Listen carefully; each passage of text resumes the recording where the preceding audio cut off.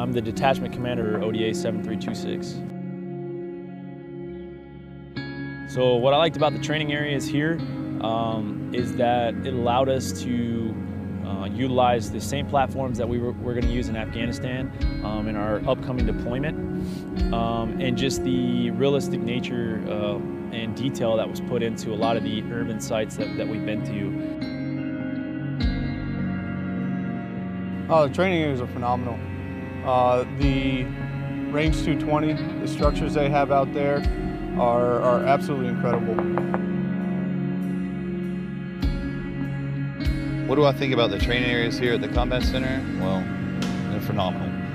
They really are. They they provide a team like ours with the opportunity to train in an environment that's very similar to what we would be experiencing downrange.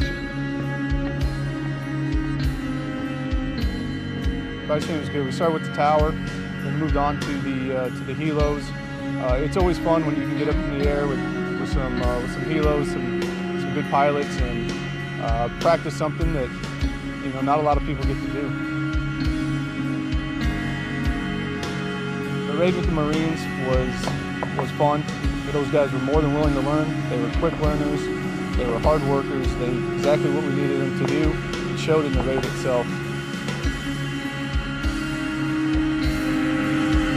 Proud of what we do, what Special Forces does. My brothers on this team are an amazing group of dudes, incredibly competent, incredibly smart, and they're adaptable.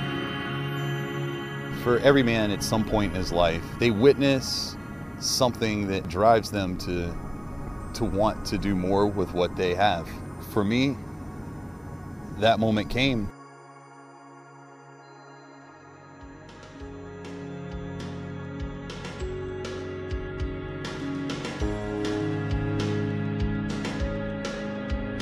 So why did I join Special Forces?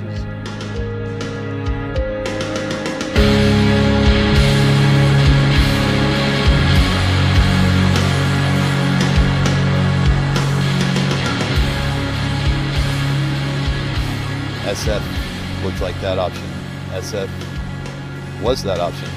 And I think if I would not have chosen it, I think I would have done a disservice to myself, really push the boundaries of what I thought was capable, fulfill that drive that I believe every man feels to be at the edge of his capabilities.